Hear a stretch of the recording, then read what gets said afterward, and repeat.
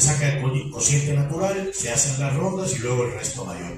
Por lo que estamos en posibilidades de garantizar que tengamos representación proporcional en el Congreso. Pero no hay riesgo de que exista sobre representación y que por ello el IE no les otorgue las no, no, no existe ningún riesgo. ¿Cuál sería el máximo de diputaciones que les tocarían? Lo que pasa es que nosotros, Morena hoy tiene solo 12 diputados electos. 12 diputados electos. Los demás son de otras fuerzas políticas y eso debe quedar muy claro. O sea, para eso está el convenio de coalición.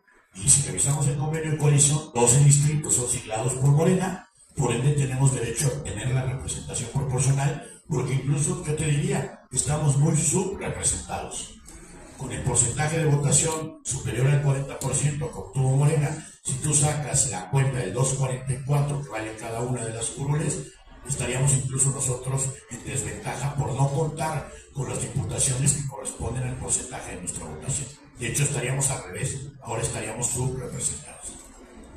Muchas gracias, Alfonso Bermúdez.